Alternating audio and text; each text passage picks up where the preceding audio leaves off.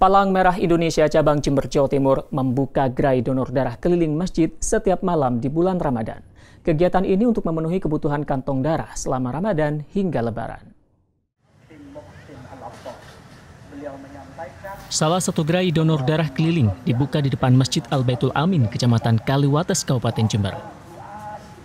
Gerai donor darah menyasar umat muslim yang baru saja menunaikan salat tarawih gerai donor darah berpindah-pindah tempat, yakni dari masjid satu ke masjid lainnya. Dalam semalam, petugas PMI mampu mengumpulkan 50 hingga 60 kantong darah. Gerai donor darah keliling masjid ini sebagai upaya untuk memenuhi kebutuhan 3.000 kantong darah selama bulan Ramadan dan masa Lebaran.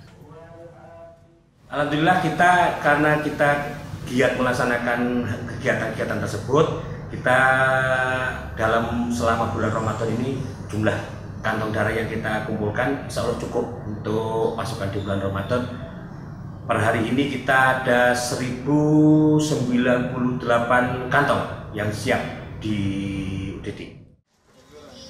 Dibukanya gerai donor darah di malam hari disambut antusias warga karena di siang hari mereka tidak bisa donorkan darahnya karena puasa Ramadan. Kalau di bulan Ramadan ini baru tahun ini, kalau yang masih sering tapi karena HB naik turun jadi di terstop selama setahun. Terus itu baru Ramadan ini baru bisa lagi. Ada persiapan khusus nggak misalkan minum vitamin ah tidak. Tapi juga harus uh, apa ya siapkan diri aja kalau memang ingin mendonorkan ya